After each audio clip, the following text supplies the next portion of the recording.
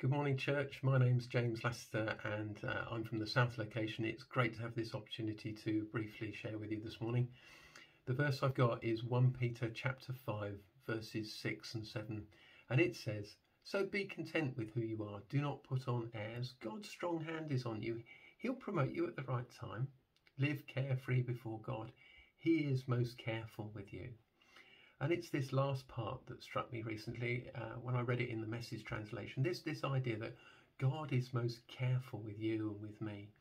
If you're careful with something, you focus on it, you pay attention, you, you uh, really watch what's happening. And so God's not on some sort of divine autopilot with your life. No, He's concentrating on it. He's paying attention. He's there in the detail. Amazing, isn't it, that we have the creator of the universe who puts stars into space and planets into orbit around them, being careful with the detail of our lives. Amazing, isn't it? Just amazing. Let's never lose the awe and wonder of that.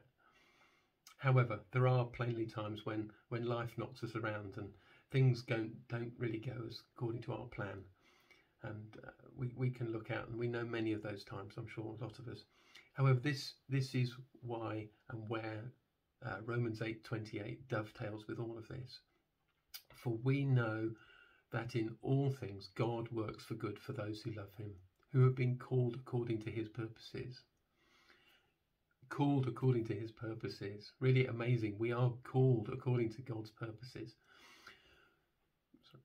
Verse 29 For those God foreknew, he also predestined to be conformed to the image of his Son, that he might be the firstborn amongst many brothers and sisters. We get to be brothers and sisters with Christ. Amazing, isn't it? And I commend that whole chapter to you. The next section's called uh, More Than Conquerors, and many of us will know that uh, those scriptures well as well. So if you get a chance through the day, pick out a translation you're not used to and re- run through it and see what else God picks out for you in in that uh, in that that jumps out that new translation. So as you as uh, as you look out on today with all of its sort of uncertainties and all of the things that are going on it on in it that may or may not happen, just be content with who you are. Don't put on airs. God's strong hand is on you, really on you. He'll promote you at the right time. Live carefree before God. He is and will continue to be most careful with you and me. How amazing is that? Praise to God. Have a blessed day, church. Bye bye.